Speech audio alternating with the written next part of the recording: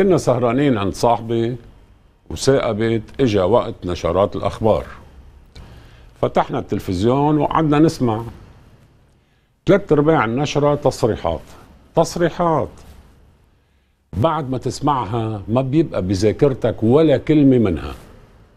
لكن أنت وعم تسمعها بتصير خايف حدا يسألك شو فهمت. تماما مثل جده لصاحبي.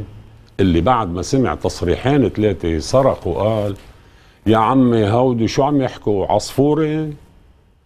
اللغة العصفورية طلعت أساسا من بلاد الشام وهي عبارة عن كلمات مقطعة وغير مترابطة لدرجة صارت العصفورية بتعني منطقة مجانين أو مستشفى أمراض عقلية. نحن كان في عنا بمنطقة الحازمية وحدة صغيرة وسكرت بأول الحرب بعد ما صاروا اللي براتها أكثر من يلي جواتها ومع ذلك ما عاد حدا عم يفهم على حدا. هذا رأيي. فكر فيها.